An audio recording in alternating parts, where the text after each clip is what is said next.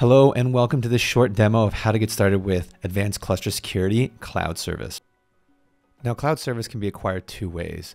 One way is to contact Red Hat Sales to discuss pricing options, get a demo, or just get in contact with the ACS team. The second is through billing from the AWS Marketplace. Now let's go ahead and click the AWS link to get brought over to the Advanced Cluster Security section of the AWS Marketplace. The marketplace page will give you a product overview, pricing details, usage information, support information, and much more. But let's click on the view purchase options to move on to the next step. From the subscribe page, you're going to get the pricing information as well as the legal information. Let's click the subscribe button to join the AWS and Red Hat accounts. After a brief pause, you should be getting a pop-up bar like this one in green to, and then clicking the setup account in order to move forward. Now, after you click this tab, you'll get redirected back to the Red Hat Hybrid Cloud console, where you can read and agree to the terms of service, click the checkbox, and then connect your accounts together.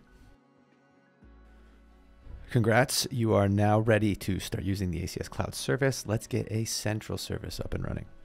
You will notice on the left, there is an overview of the product, tips to get started, the list of ACS instances, and documentation, but it is as easy as just clicking the Get Started tab or button. Here it will show you how to create a central, as well as how to set up the secured cluster afterwards. But let's just get going by creating our first instance.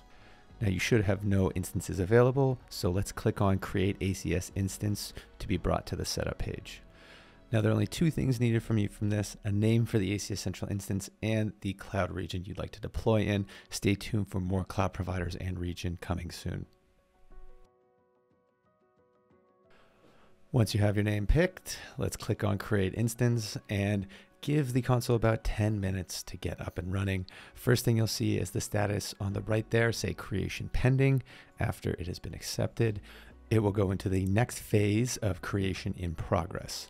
Now this takes about 10 minutes for the central, the database, and all the bells and whistles to come up. So just give it a second. And when it's done setting up, you'll be able to click on the name of your instance and be directed to a tab.